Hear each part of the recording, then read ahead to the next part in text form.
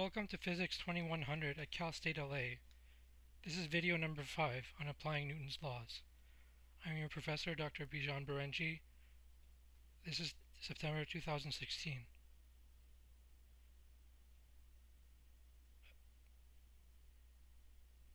Please refer to chapter 5 to for the corresponding book chapter. Having been introduced to Newton's laws, we will now apply these laws to different physical situations.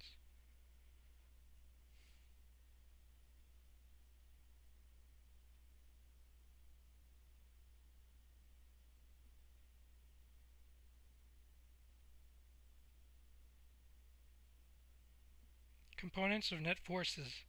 The x, y, and z components of force may be related to the x, y, and z components of acceleration,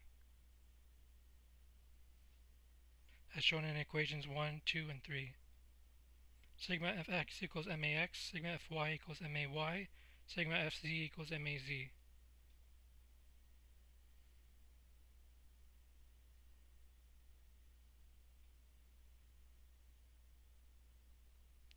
There different types of forces. There are contact forces such as normal force, tension, and friction. There are also non-contact forces such as gravitational and electromagnetic. This list is not exhaustive.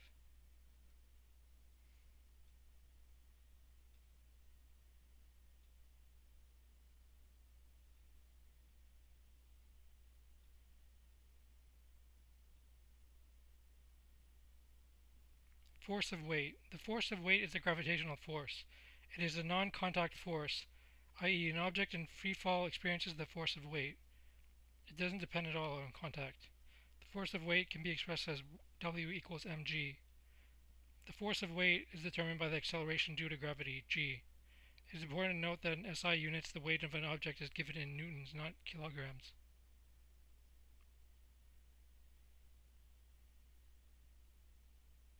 The normal force.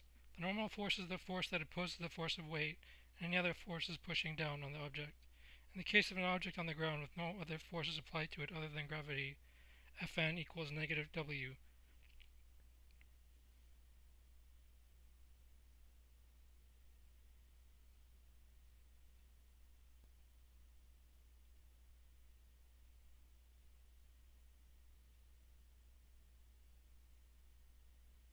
Frictional forces. The force of friction opposes the direction of motion of an object. The force of friction between two objects with relative motion is Ff equals to mu n, where n is the normal force, and mu is the coefficient of kinetic friction. If an object is moving along the i hat direction, the force of friction will be oriented along the negative i hat direction. When pushing an object that isn't moving, the coefficient of static friction is applicable. Example 1. What is the coefficient of, kin of kinetic friction for an object on an inclined plane?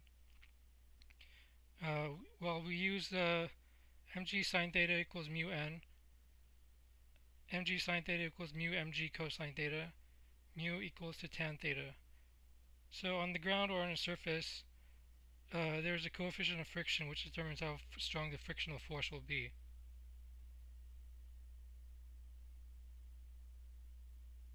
Tension. In force problems, often two objects are connected with a massless cord. The force is transmitted between them by the force of tension T.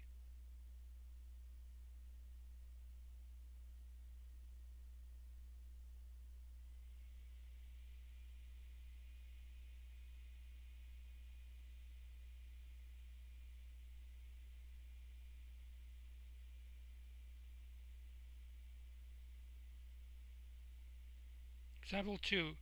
What is the acceleration by two masses m1 and m2 suspended on either end of a massless cord over a pulley?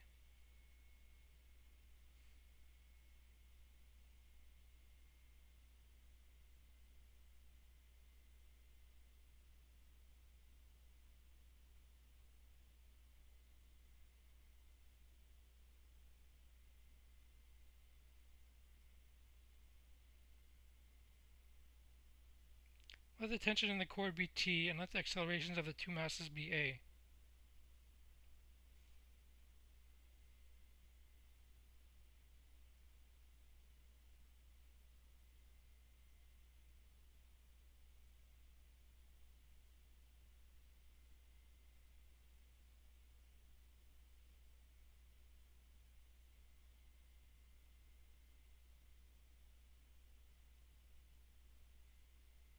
Then apply Newton's second law to each object.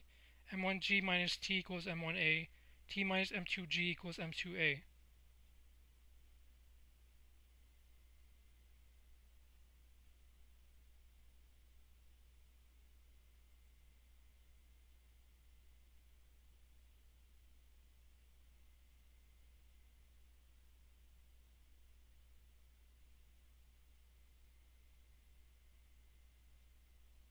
Eliminate t between the two equations and solve for a. We finally obtain a equals m1 minus m2 divided by m1 plus m2 times g.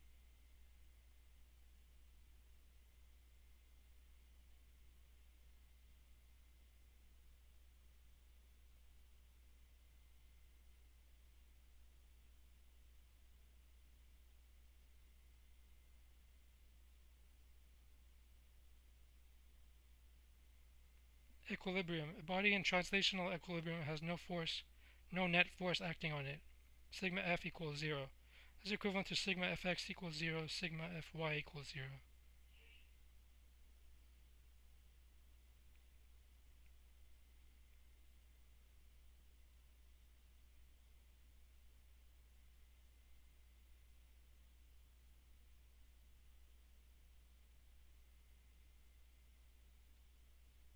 Example 3. Consider an object which is being pulled on the ground at an angle with a force of T equals 100 newtons and theta equals 30 degrees as shown in figure 1.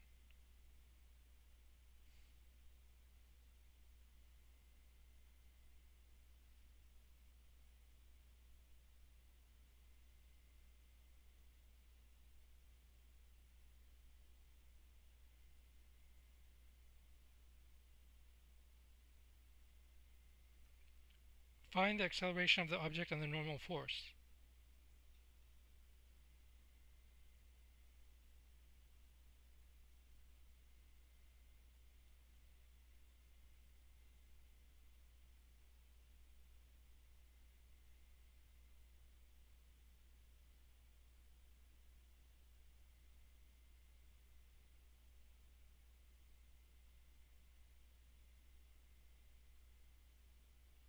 Example 3 continued.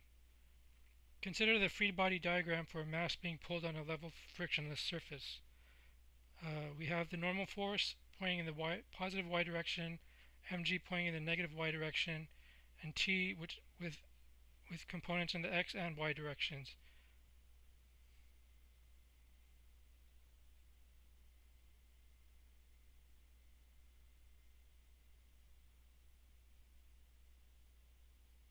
Example 3 continued. So uh, we now find the acceleration of the object on the normal force.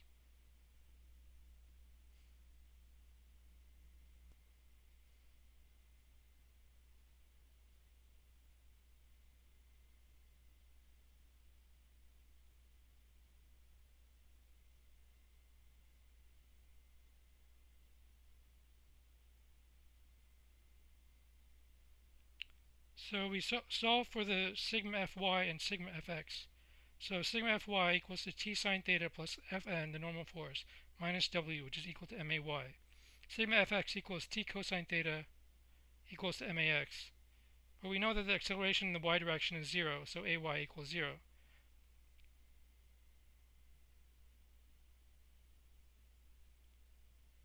Solving the equation, we find ax equals t cos theta over m.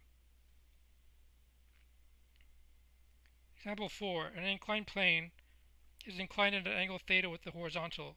A mass m of 100 grams is sliding down the plane with the coefficient of co kinetic friction of mu equals to 0.01. Find the acceleration of the mass.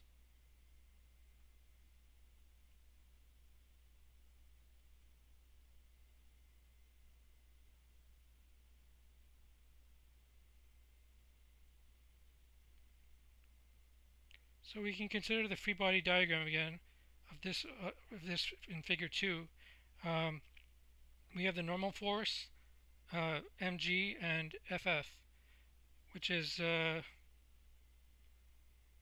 the frictional force is opposite to the direction of the gravitational, the component of the gravitational acceleration along the plane.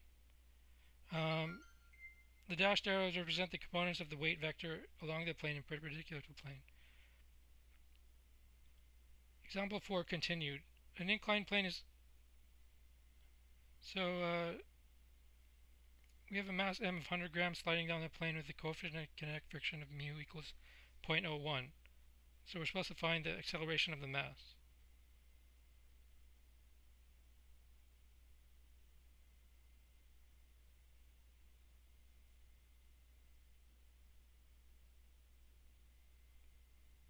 We have n minus mg cosine theta equals ay equal to 0.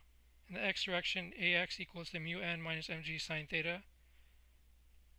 We define the x direction to be along the plane. mg, mu, mg times mu cosine theta minus sine theta equals ax.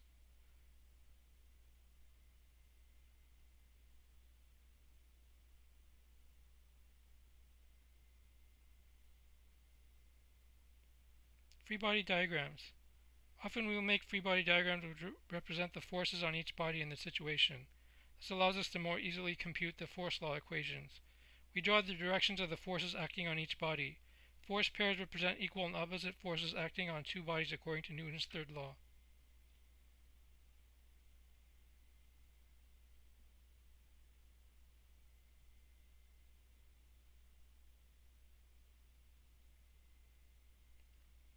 Free body diagrams.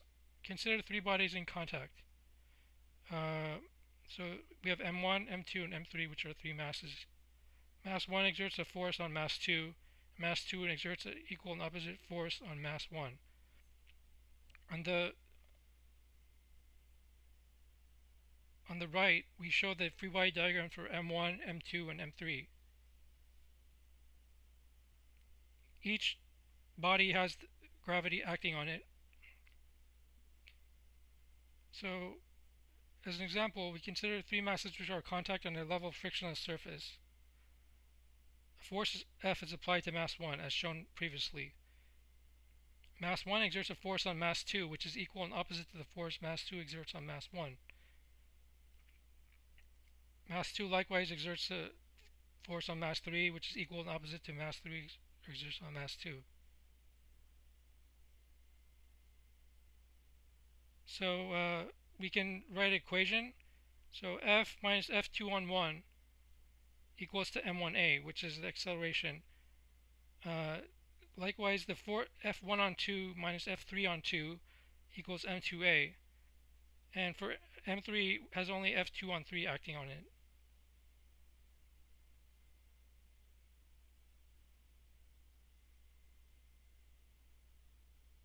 Centripetal force.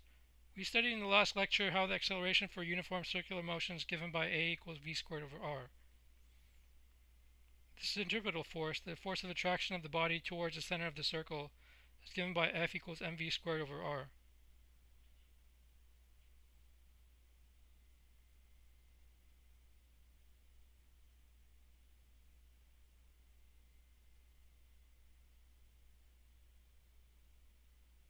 Example 5. What is the radius of a circle for uniform circular motion if F equals 100 newtons, velocity v equals 10 meters per second, and m equals 100 kilogram?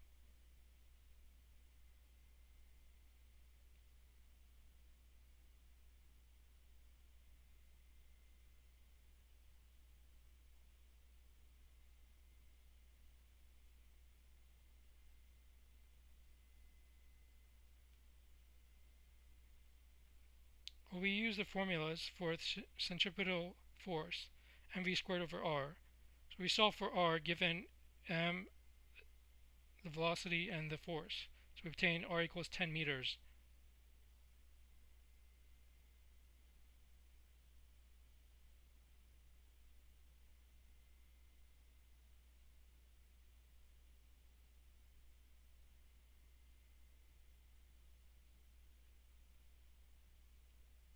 We will look at two exercises in the following remainder of this video.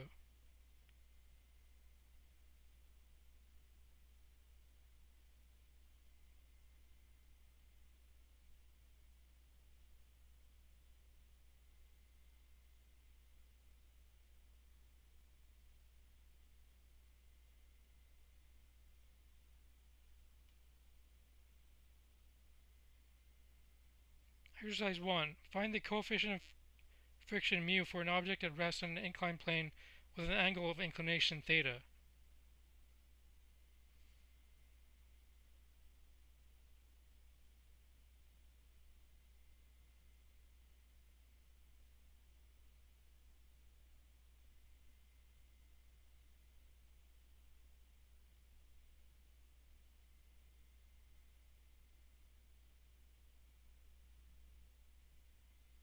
Solution. We calculate the components of the forces in the x and y directions.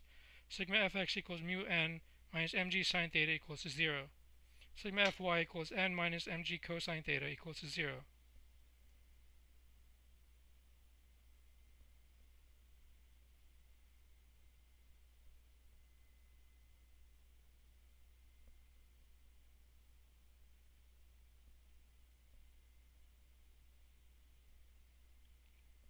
Write the expression for sigma fx and set it equal to 0.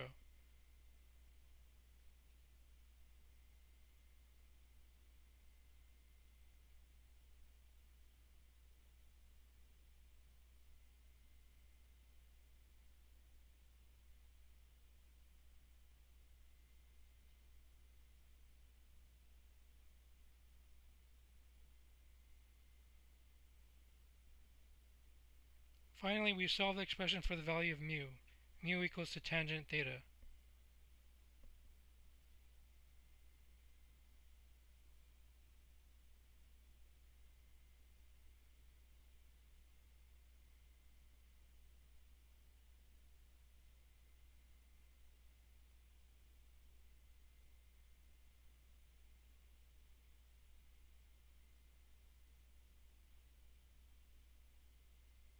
Exercise 2.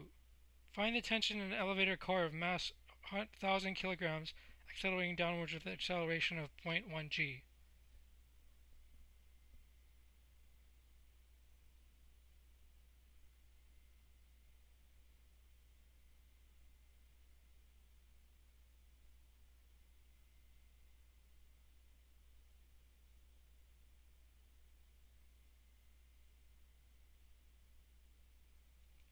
Solution. Find the net force in the y direction. Sigma Fy equals mg minus t equals ma. We are given that a equals 0.1 g. So solving, we obtain t equals 0.9 mg and that the tension equals to 8800 newtons.